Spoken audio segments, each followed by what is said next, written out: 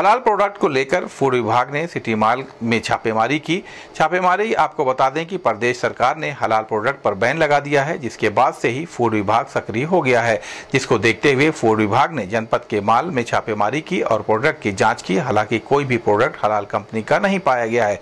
जिसके संबंध में मुख्य खाद्य सुरक्षा अधिकारी हितेंद्र मोहन त्रिपाठी ने बताया कि हलाल से युक्त खाद्य पदार्थों पर प्रदेश सरकार ने बैन लगा दिया है, जिसको देखते हुए टीम जगह जगह पर छापेमारी कर रही है। खाद्य पदार्थों की चेकिंग कर रही है। हम लोगों ने अभी तक लगभग आठ जगहों पर छापेमारी की है लेकिन कहीं पर कोई प्रोडक्ट नहीं पाया गया है। यह कार्रवाई आगे भी जारी रहेगी। यदि कहीं पर हलाल से युक्त खाद्य पदार्थ पाया जाएगा तो उसके खिलाफ कार्रवाई की जाएगी। इसके लिए हम लोग लोगों को जागरूक भी कर रहे हैं। वो सर्टिफिकेट सर्टिफिकेशन की मुहर लगी वो ले इसके बारे में मुझे बात करना नहीं है आपके पास है कि नहीं मतलब मुझे नहीं मेरे सर से बात करना one second sir let me provide sir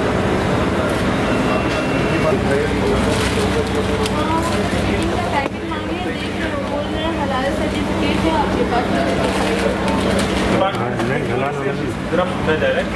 दिख रहा है दिख नहीं रहा। हाँ तो इनसे कहीं इनके पास नहीं है। पैकेट दिखा दो मिनट बस और हम लोग हैं।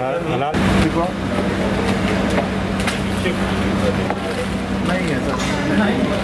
वो लिखने से सर वो लोगों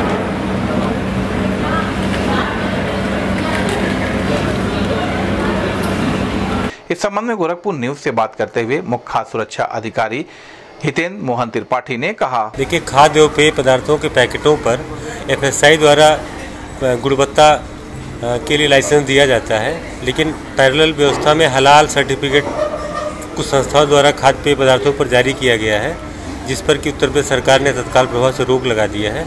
उस रोक के सिलसिले में हम लोग यहाँ के खाद्य पेय पदार्थों की दुकानों पर जाँच कर रहे हैं और जहाँ पर हलाल सर्टिफिकेट संयुक्त कोई खाद्य पदार्थ मिलेगा तो वहाँ पर हम लोग कार्रवाई करेंगे।